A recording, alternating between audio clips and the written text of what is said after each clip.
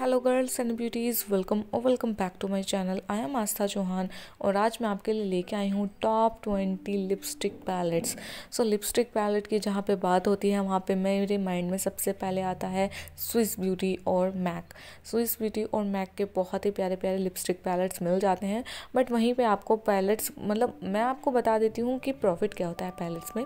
देखिए, आप एक सिंपल सी लिपस्टिक लेते हैं, वो टू अगर बिल्कुल मिनिमम वाली लेंगे ना तो वो भी आपकी टू हंड्रेड या फिर टू फिफ्टी में आएगी। वहीं आप महँगी लेते हैं तो वो फोर हंड्रेड फाइव हंड्रेड में आ जाती है।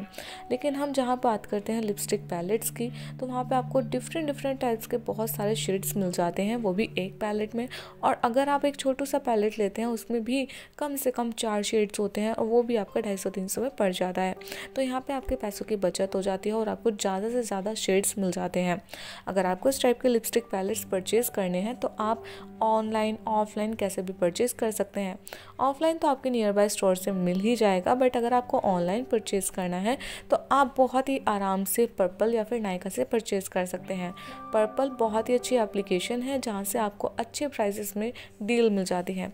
अगर आपको इस वीडियो के रिगार्डिंग कोई भी क्वेश्चन क्वारीज या फिर डाउट्स है आप मुझसे कमेंट बॉक्स में क्लियर कर सकते हैं। अदरवाइज़ मैसेज कर सकते हैं डायरेक्ट इंस्टाग्राम पर। मेरे इंस्टा आईडी है followed me insta is my and video. yes also subscribe really my channel. like thank you so much. bye.